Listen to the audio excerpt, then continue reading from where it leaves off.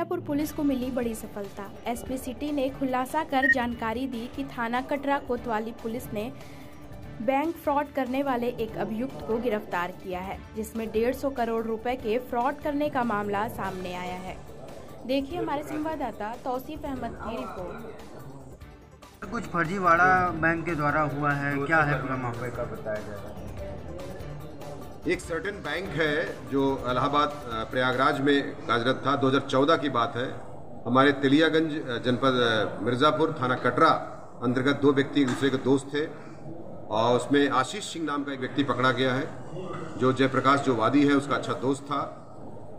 उसको उसने कहा था कि मेरा अच्छी दोस्ती है हमें टारगेट दिया गया है खाता खुलवाने का। तो जरा अपने कागज़ दे दो हम तुम्हें आईडी वगैरह दे दो तो हम तुम्हारा खाता खुलवा देंगे।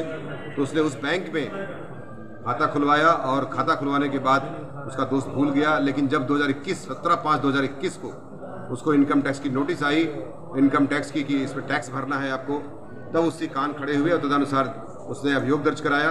इसमें 101 बटे 21 एक अभियोग चार सौ उन्नीस बीस चार सौ इकहत्तर का दर्ज किया गया।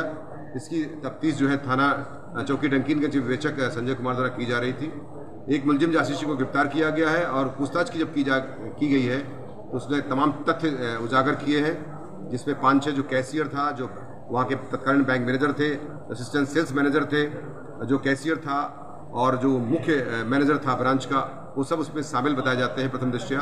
और आशीष सिंह को इसी जुर्म के आधार पर गिरफ़्तार किया गया है उसने अपना जुर्म स्वीकार भी किया है, और उसने तमाम और तथ्य अवगत कराए हैं कि उसमें हार्ड कैश आता था, और कैश कैश के बाद उसको जो है सर्टेन स्थानों पर जो है सर्टेन कंपनियों को लीगल मनी करके सप्लाई किया रहा था। सर अभी कितने लोग बाकी हैं उसमें अभी हमारे पास जो और इसके अलावा पाँच लोगों का नाम और आ गया है जिसमें हम तफ्तीश कर रहे हैं और अभी उसका नाम हम इसमें डिस्क्लोज नहीं कर रहे हैं। बाकी जब विवेचना के क्रम में हम इसमें तथ्यों के आधार पर साक्ष्यों के आधार पर एक महत्वपूर्ण केस है।